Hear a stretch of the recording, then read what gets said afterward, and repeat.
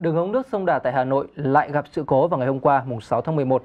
Và ngày hôm nay trao đổi với phóng viên của Chào buổi tối thì ông Nguyễn Văn Tốn là tổng giám đốc công ty nước sạch Viwaco cho biết là vào lúc 0 giờ ngày hôm nay đơn vị đã khắc phục xong sự cố lần thứ 16 của đường ống nước đầy tai tiếng này. Theo ông Nguyễn Văn Tốn thì sự cố lần này chỉ là dò dỉ chứ không phải là vỡ ống như những lần trước nên đơn vị à, chỉ vá tạm mà không thay thế đường ống mới.